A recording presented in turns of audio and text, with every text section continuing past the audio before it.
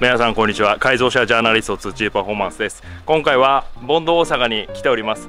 今日はですねこれから雑誌取材に同行してその様子をお届けしたいと思います。皆さんついこの間アップした動画覚えてらっしゃいますでしょうか？こちらの車を雑誌取材で同行いたします。こちらです。やってきました。フルブラバスになってるマイバッハ。というわけで動画でご紹介させていただきましたけれども大体68012気筒をいじってる個体は多分日本でほぼないんじゃないかなと。でしかもブラバス日本1号車ということでこれ別の動画があるんで、まあ、詳しくはそちらを見てみてください。あの改造費数百万円かかってるとんでもカーでございます。そしてですね今回この車だけじゃないんですよ。実はですねこちらのオーナー様船を所有ということで船と一緒にこの車を雑誌取材写真撮っていただいて、まあ、掲載されるという流れでございます。で船は、まあ、船着き場で合流なので船もお届けしたいと思います、まあ、車メインではあるんですけど、ま、お客様のライフスタイルだったりだとか他にどんなものを持ってるんだとか皆さん気になりますよね。僕も気になります。というわけでその来る船がとんでもない船だっていう風に聞いてるんでそちらの様子もお届けしたいと思います。そして今回僕を連れてってくれるのは岡店長です。ありがとうございます。ございます。一日よろしくお願いします。一日で終わりますか？ええー、というわけで積載車に乗って行っていきたいと思います。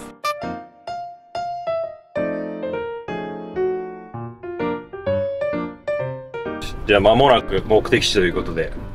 はい、はい、今回オーナー様は？オーナー様来ない。オーナー様今回来ない。嘘でしょ？そうあの来ます来来ますよね。いや今回俺行かねえって。業者持っていかすから大丈夫やで。了解です。車も。あもうね。船も代わりの人間が運んでそうそうそうそう。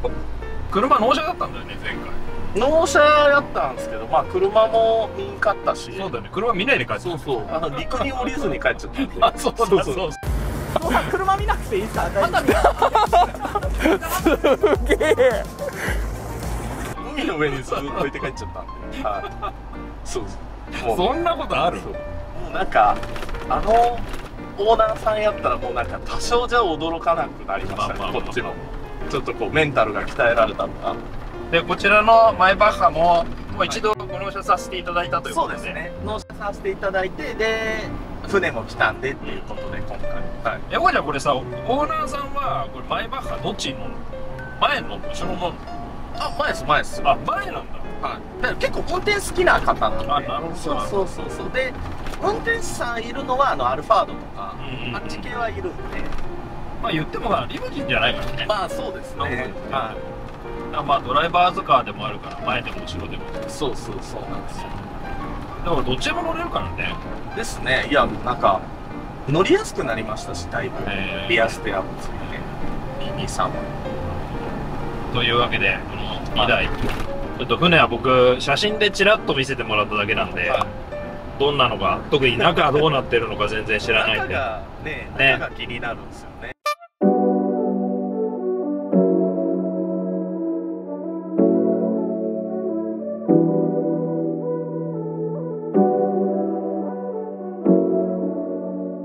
さあというわけで今目的地の撮影場所に到着しました。今回はちょっと場所の方はお伝えできないので某所ということでお送りしたいと思います。で車は今降ろし終わったのでもう間もなく時間なのでおそらく船の方が到着すると思うんですけど到着しましたら様子をお伝えしたいと思います。来る途中話してたけど、はい、なんか車の駐車場とちょっと感覚が違うと船はこういうところを係留する時はその一時的な係留で先に今回もその申請書とかを出して船で車でいう車検書みたいな書類を全部書いてこんなの止めますよ。そうそうそう。で1メートルにつき何百円みたいな。だから結構安いっすまあでも50フィートでだいたい15メートルぐらいなんですかね、うんうんうん。それの換算なんで結構値段は安いんですけど、えー。まあなんか事前に予約して空いてますよで止めに来るっていう感じで、えそれで今回お借りさせていただいて。はい。ー車だとなんかもっとしそうな気が そうそうそうそう。するけどね。と思ったんですけど意外と、まあ、場所にもよると思うんですけどね。だって船高いのだと億円でしょ余裕で。そう。まあ今日のもあの全然奥は楽勝で超えてる。そうなんそうですそうです。全然もう1億とかじゃないです。はい。もうもうずーっともっと上です。そうするとなんか止めるだけでもなんか何十万とかかかりそうな雰囲気かなと思って今日現地で現金支払いですって言われたんでちょっとこうお金下ろしてこようかなって思ったんですけど 金額来た時にえほーっと思って。晩ご飯代ぐらいです。あそうなんだ、はい。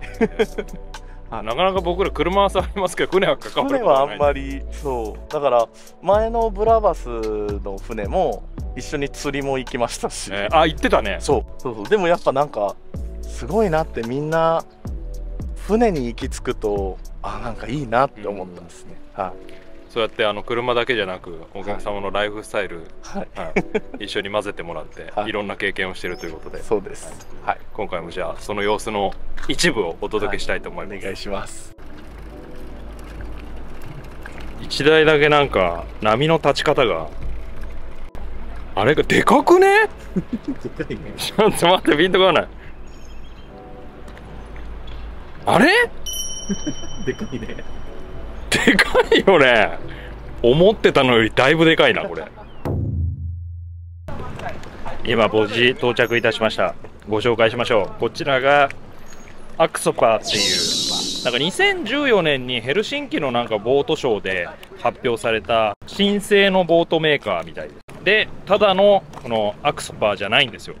これ分かりますでしょうか？後ろのロゴのところこれちっちゃく書いてありますけどなんとそのアクソパーっていうボートメーカーのブラバスライン。要はブラバスとコラボモデル。ということで内装だったりとかっていうのがブラバス仕様になってる。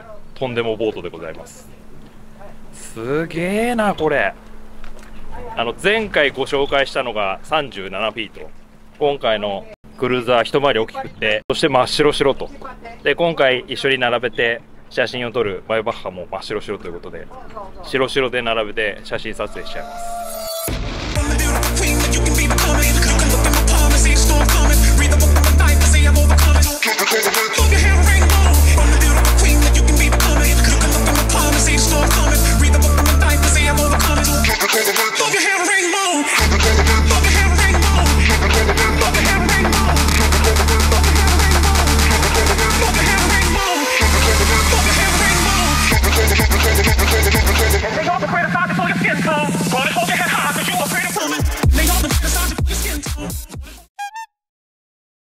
というわけでこれからこのブラバスの船の内部に潜入したいと思います。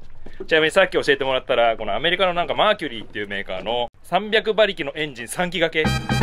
900馬力。そうです。900馬力でそしてこのアクソパーっていうメーカーのブラバスラインでございます、はい。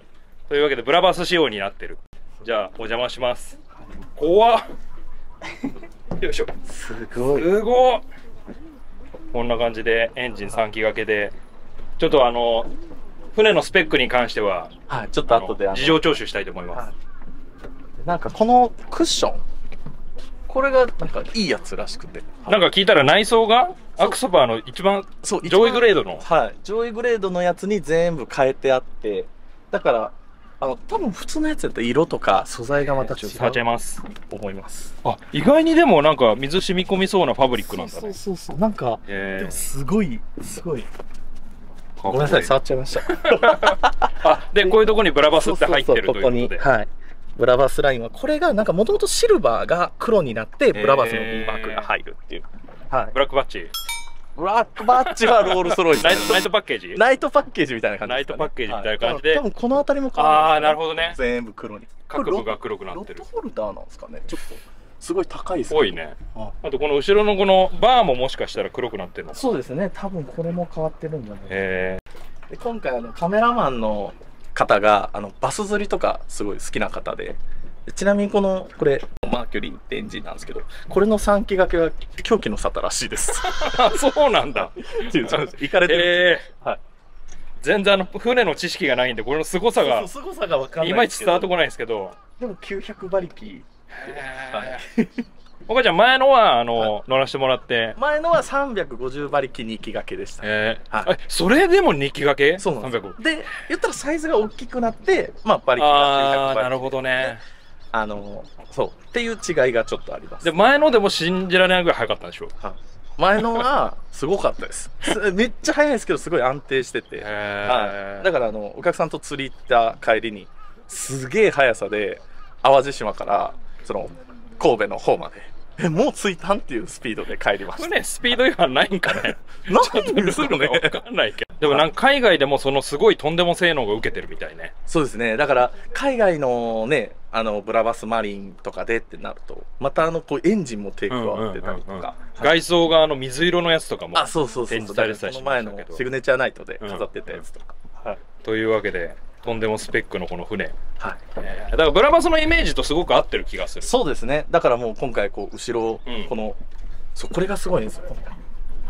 ブラバスマリンに乗って見るマイバッカがすごいなと確かに確かに。これももうとんでもカーですからね。680フルブラバスということで。すげえな。あのえっと岡崎ヨットの金地さんです。よろしくお願いします。よろしくお願いいたします。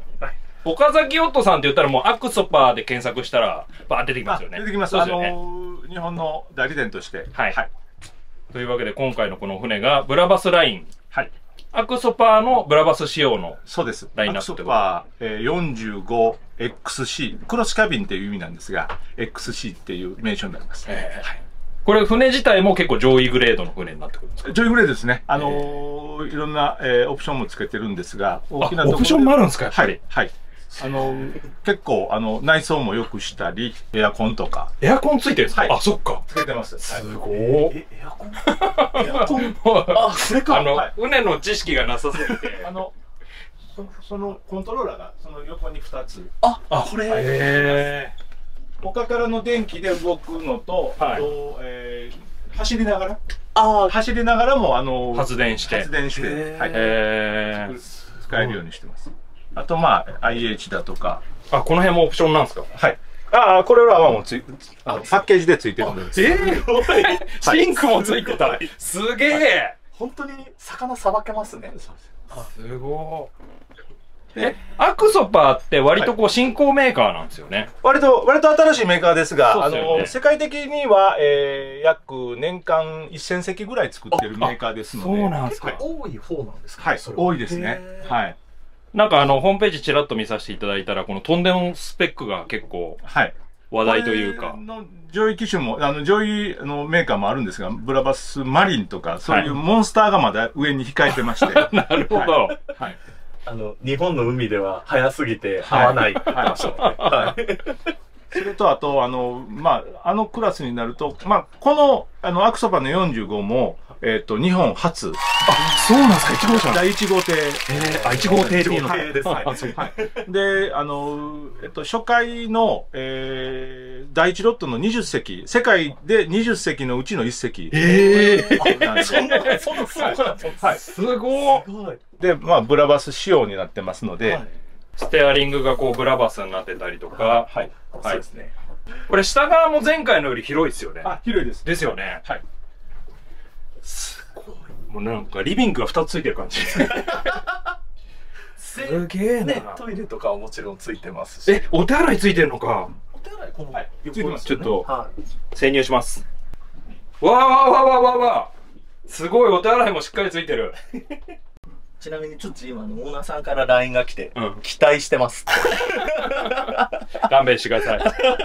あのただの賑やかしなんで。えー、でこれ船のこの性能的な特徴のところはなんかさっきお伺いしたらはい。なんかジョイスティックでいろいろジョイスティックで、はい。これですね。あの、出入口とか、離岸着岸は、あの、この、ジョイスティックで全部、ステアリング触らないでも、ジョイスティックで全部、ああの、コントロールできます。はい。普通の船はじゃあステアリングとそうです。これの前進後進で、はい。やるのをアクセルだけでやりますけど、ジョイスティックで。はい。それあんまり他の船ではついてない機能なんですよあのー今、船外機では、あのーこの、マーキュリーの JOP システムが一般的に。それだけですね。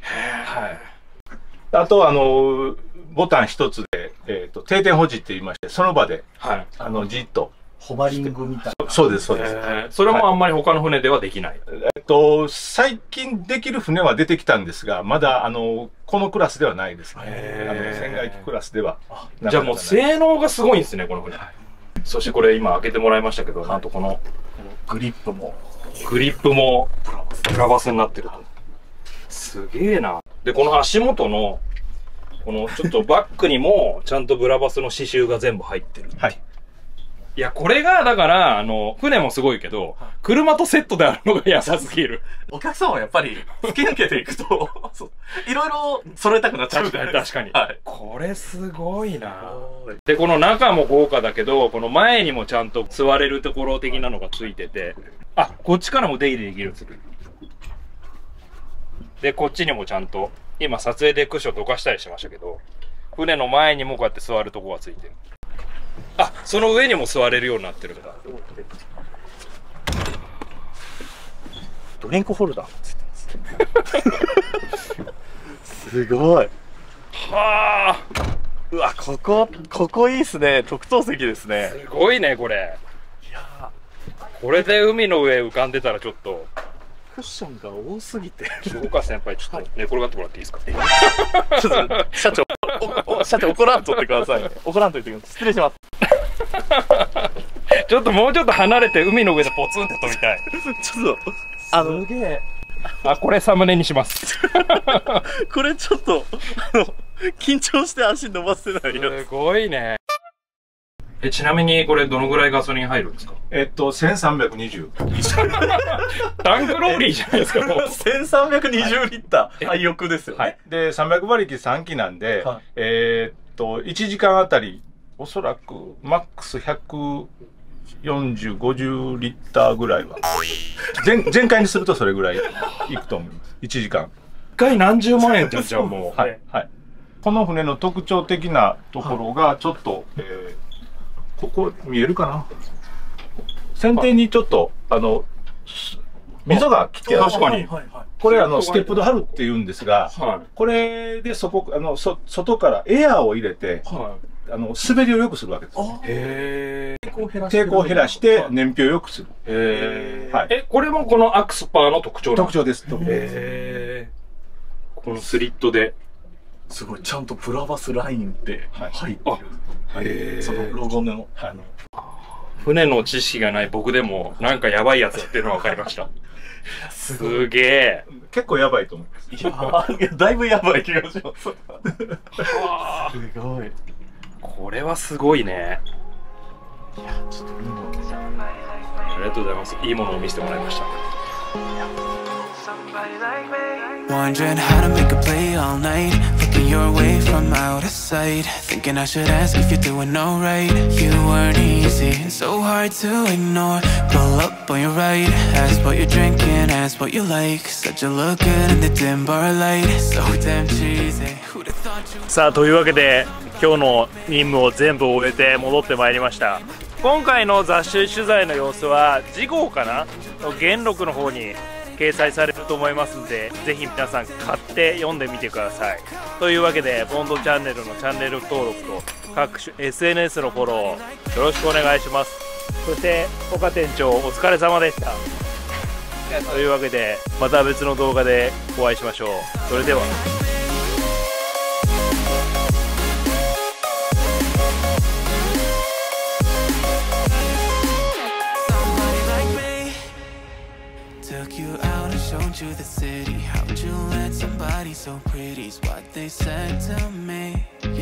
Sentiment.